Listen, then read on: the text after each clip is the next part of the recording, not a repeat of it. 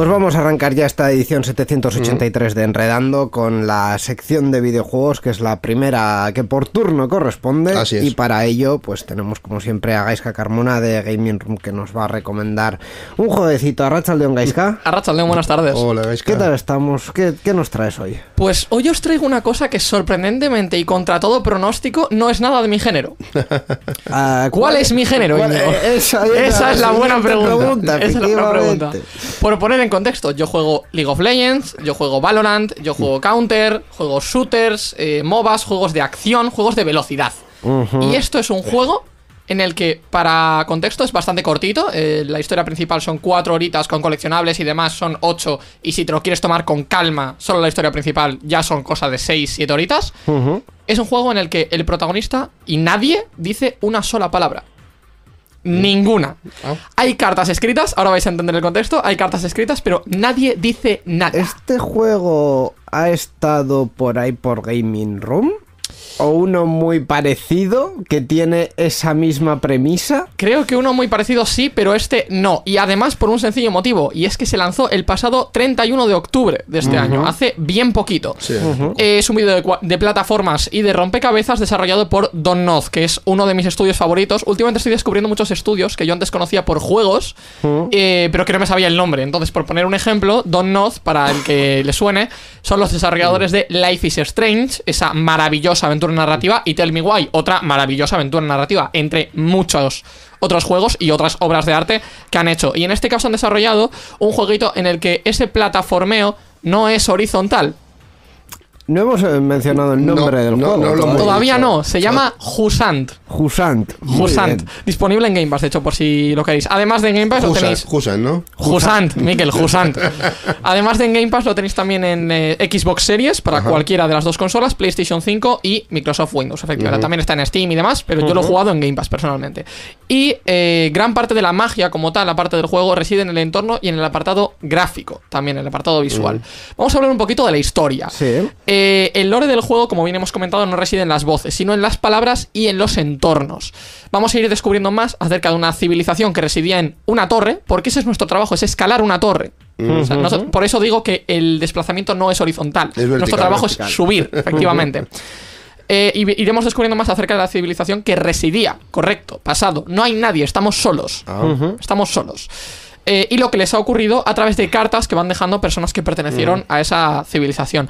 Y el protagonista es que no dice nada. O sea, hace ruiditos de así, mira, he saltado y uh, así un ruido de esfuerzo y demás, pero no dice absolutamente nada. Las cartas se clasifican en dos tipos: las cartas genéricas, que puede ser un aviso que hay en una pared, eh, una entrada de un eh, periódico de algo, y luego están las cartas de eh, una chica que nos explica lo que a ella le está pasando, porque ella eh, lo que está intentando es encontrar la lluvia. Ese es el problema. El problema de la torre es que vive en una torre precisamente por las mareas y demás. Entonces se suben, bajan con las mareas y, y toda la pesca. Pero desaparece el agua, de repente, se va. Que de hecho, si buscáis el término, no me acuerdo exactamente de cuál es la definición, pero si buscáis el término jusant, creo que significa el retroceso, es en francés, el retroceso del mar una vez ha subido la marea, o algo así. Ah. O sea, quiero decir, es una palabra eh, como tal, eh, que de hecho me, me recuerda bastante al japonés, que tienen palabras para determinar párrafos enteros. En plan, esa sensación eh, cuando los cerezos se les están cayendo las flores, lo cual indica la llegada del verano. Con una palabra. Con una palabra, y lo dicen con una palabra o con, o con dos, tres palabras. Es Sí, una sí, cosa sí. muy, muy extraña. Ajá. Y, y esa es un poco la, la magia del juego como tal. Bueno, Jusant en francés es reflujo. Reflujo, eso, correcto. pues eso es Entonces, lo que- el, retroceso, el retroceso de las mareas. Efectivamente. Entonces, eh, ¿cuál es la movida? ¿Estamos solos del todo? No. Nosotros estamos acompañados, estamos acompañados, perdón, de un compañero que se llama Ballast. Curioso. Eh, que el equipo de desarrollo, de hecho, los de los chicos de Donut, describen como una criatura hecha completamente de agua. Sí que es verdad que tú lo ves y es muy slimy. Es, es- es muy slime. Es muy como Bla- plastilina. blandito, blandito. Efectivamente. Eh, Ballast en cuestión revelará pistas y despertará la naturaleza. Nosotros vamos a tener pues los riscos de rocas en los que tenemos que agarrarnos, tablones y demás. Pero eh, él, por ejemplo, tenemos una manera de activarlo que va a tirar una especie de onda expansiva y hay flores que están como medio muertas en la pared, la tiramos y entonces a esas flores les salen una especie de puntos que podemos agarrar. Que podemos usar para Reviven las flores. Efectivamente. Hay otras, por ejemplo, que son eh, una especie de enredaderas también con pinchos, que usamos esos pinchos para subir. Entonces las enredaderas están comprimidas dentro de la pared, tiramos la explosión y de repente salen hacia afuera. Para que tengamos más puntos de apoyo para subir. Tenemos muchas cosas a nuestra disponibilidad. Eh, os hablaría también de la linealidad y demás, pero eso lo vamos a mencionar luego. Es gracioso porque eh, no es spoiler, no es spoiler porque os iréis dando cuenta desde un principio. Tenéis que ir descubriéndolo. El lore está muy escondido, porque el hecho de que nadie te cuente el lore y el trabajo sea tuyo de descubrirlo hace que, que sea más complicado entenderlo. Pero como tal, en 7 horitas de juego lo habréis entendido ya a la perfección. Y por si no, os lo resumo yo brevemente. El agua ha desaparecido, eso lo vais a ver desde minuto 1, o sea, eso no es nada nuevo. Y más adelante descubriréis una palabra que son los balastos. Los balastos son unas criaturas mitológicas, según la civilización que estaba en la torre, que son los que tienen agua y bla, bla, bla, bla, bla. Entonces la gente se pone a subir en la torre para eh, intentar encontrar esas criaturas para que devuelvan el agua. Básicamente. Esa es la, la gran magia ¿no? del juego. Intentan buscar esas criaturas que en principio son mitológicas, entonces no saben si están subiendo para nada. Cuanto más arriba en la torre, menos gente hay. ¿Por qué? Porque la gente se está marchando de la torre porque no hay agua. Entonces van para abajo para buscar oasis en el desierto. O sea, que estás en- a, a contracorriente. Efectivamente. No es que vayas a contracorriente, es que no hay nadie, la gente ya se ha ido. Ya se ha ido, vale, vale. Esa es la movida. Y los que no se han ido han muerto. Uh, Eh, es- eso es lo turbio, eso es lo que no te dicen, pero puedes intuir. Entonces, eh, claro, ¿cuál es la movida? Que un grupo de gente que va a una expedición, que es precisamente la chica también que mencionamos, van arriba en la torre para buscar esos balastos, que se supone que están en el cielo. Entonces, claro, ¿cómo llegas al cielo? Subiendo. ya. Esa es la, la gran movida. Y la chica es la que va dejando las cartas. La chica a- va a dejando- medida- a medida que va subiendo. ¿no? Eso es, va dejando su diario. Au. Esa es la movida. Entonces, eh, hemos dicho ya que es un juego de escala y vamos a eh, investigar un poco la jugabilidad. El chico que controlamos nosotros es un vagabundo solitario, Mm. tal cual. eh, y la torre está llena de artefactos y cosas curiosas. La gracia está en que el juego tiene, creo que son seis capítulos. Entonces, cuando vas pasando de zona, tienes cinemáticas y pasas al siguiente capítulo. Cada vez que cambias de capítulo, el bioma, el bioma perdón, cambia completamente. Entonces pasas de una zona más desértica, a una zona en la que, por ejemplo, hay más plantas, a una zona de cuevas, a una zona de desierto, y también hay modificadores. Por ejemplo, en la zona de desierto, cuando estás expuesto al sol en la escalada, la resistencia se agota más rápido.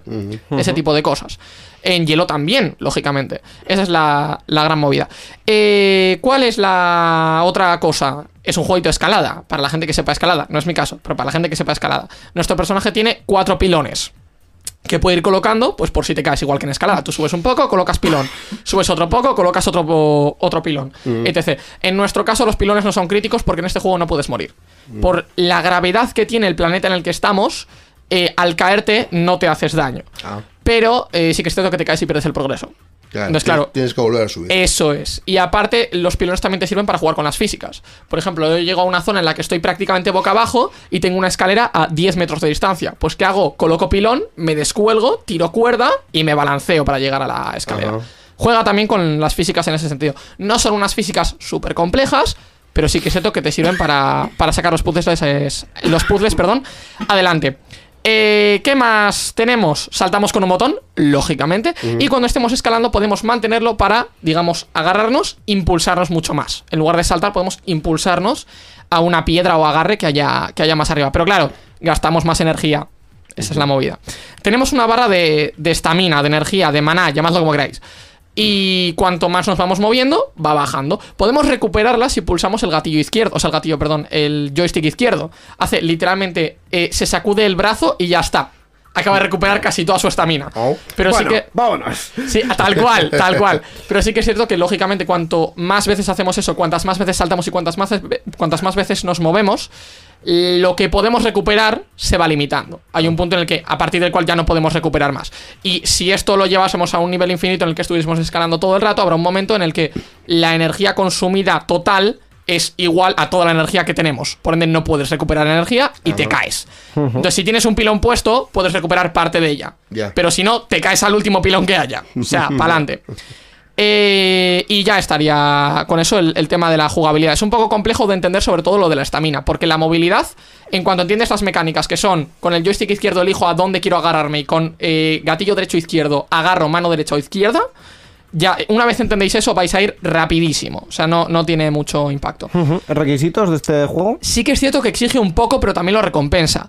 Eh, los recomendados, que es lo que nos importa a todos, son un i7 de décima o un Ryzen 7 3700X con 8 GB de RAM, eso sí, y una 2060 Super o una 5700 con 15 GB de almacenamiento, no ocupa mucho. Sí que es cierto que puede parecer que exige bastante y efectivamente lo es. No en gráficos, en gráficos es bastante normal. En CPU sí que, sí que tira muy fuerte. Ah. Pero también es cierto que lo recompensa. ¿Por qué? Porque este juego, a diferencia del Starfield, tiene DLSS 3 y FSR 3.0. El hate con el Starfield es Muy mayúsculo. fuerte. ¿Qué quiere decir esto? Que yo con mi 3060 he podido jugar al juego en gráficos máximos con DLSS en calidad. Es decir, que no le sube muchísimo el rendimiento a 80-90 frames estables. O sea, quiere decir, es un juegazo y se ve de locos. Aparte, es un juego en el que los gráficos eh, como tal son bastante chibi, son bastante, mm, digamos, de pocos recursos. No están súper definidos, no tienen muchísimo detalle. Sí que es verdad que para la iluminación te interesa porque es muy bonita, pero no tiene muchísimo detalle. Entonces bajar los gráficos de ultra a alta a media, la diferencia no es tan vasta. Dame un punto positivo y un punto negativo, solo uno de cada Un uno. punto positivo, absolutamente todo, en plan, juégalo. O sea, Vale. tengo unos cuantos aquí puestos, pero juégalo, porque es brutal. No es complicado, no es largo y es precioso. Y además, la historia se cuenta sola. ¿Y un punto negativo? El punto negativo en mi caso es eso, lo de la linealidad. Sí que es cierto que tiene ramas, entonces eh, hay coleccionables y hay muchas cosas por hacer realmente, por eso el juego puede durar más del doble de su tiempo. Eh, pero claro, la movida también es que esas ramas tienen un final. Es decir, nosotros eh, nos desviamos de la ruta principal para ir a una zona. En esa zona hacemos lo que tengamos que hacer de coleccionables, pues poner una piedra, ver un mural, eh, encontrar una carta y luego hay que volver atrás para seguir el recorrido principal. También es cierto, aún así, y esto lo digo en su defensa, que eh, cuando llegas a una zona nueva no sabes cuál es el recorrido principal. Entonces es muy posible que encuentres coleccionables sencillamente intentando buscar por dónde ir, que eso también es un punto muy muy bueno. Pues esta es la recomendación de hoy. Jusant, disponible para Windows, PlayStation 5 y Xbox Series. Es que ricasco Gaisca por traérnosla hoy. A vosotros. Muchas gracias.